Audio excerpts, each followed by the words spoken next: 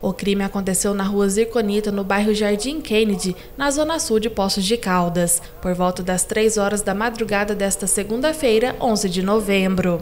A vítima, de 41 anos, identificada como Ademário Alves Barros, foi morto a pedradas e pauladas. A Polícia Militar foi acionada por 1890, onde moradores do próximo local do fato relataram que, que havia um indivíduo caído com, com, sem sinais vitais e com sinais de violência.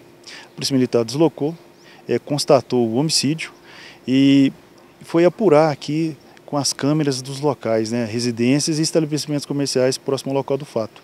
Identificamos que durante a madrugada, por volta de 3 horas da manhã, dois indivíduos, um portando uma pedra, é, chegou próximo ao local onde, onde a vítima foi encontrada e arremessou uma pedra.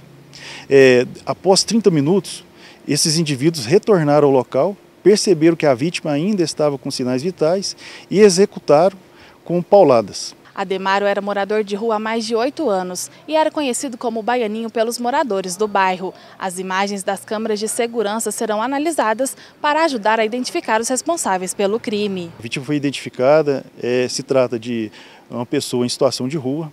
Era costume, conforme é, contato com testemunhas aqui do local, que ele dormia aqui na rua mesmo e era envolvido com uso de drogas, tráfico de drogas aqui, na, aqui no bairro mesmo, Jardim Kennedy. Na realidade ele é muito conhecido, ele sempre vem aqui em casa pedir comida, ele passa, às vezes eu dou algum dinheiro para ele, ele varra a calçada para mim, era, apesar da, dos problemas dele, mas era um cara bom, não aborrecia, nada.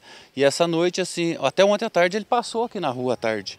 Ele desceu a rua, cumprimentou a gente que estava aqui fora, eu e minha esposa arrumando as luzes de Natal, e cumprimentou, desceu e foi embora. Mas de madrugada eu não escutei barulho nenhum, porque a gente quando escuta, a gente olha as câmeras, né?